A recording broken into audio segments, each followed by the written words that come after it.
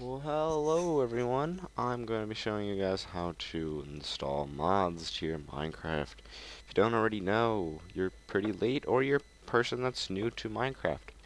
First, what you want to do is you want to, well, get your get your downloads. The ones I'm going to be showing you to download is ModLoader, something really known and famous, and World Edit CUI, a helper. I already have a video on how what it does, kind of showing. Alright, so you want to go to computer and normally you want to go to your C drive users who what your name is. Then we'll hit backslash app data. Now if you're using a Windows like one of the older versions like Windows XP you might need to type in your name and then application data.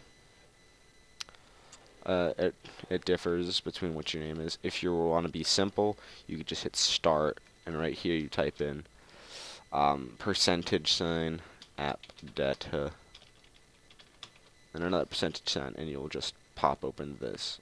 Now what you want to do is you want to open up roaming. You got a whole bunch of files here. You want to go to your .minecraft. Now that you're here, you are in your Minecraft folder. A whole bunch of Minecraft shit is in here.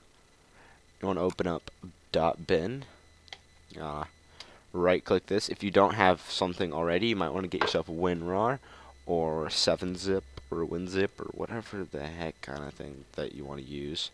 You want to open up your Minecraft.jar with your WinRAR. Now that you got this done, it's going to like pop up something. You've got your folder right here. So like, let me let's get these things to the side.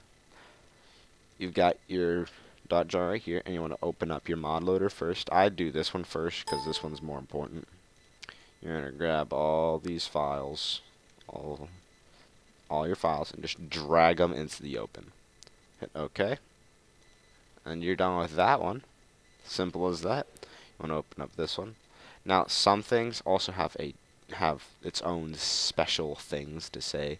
Like if it has an install.txt or upgrade.txt you want to read it. I already re read it, and it says that you want to open up this folder, and you want to drag all this shit, all this stuff, sorry, in here.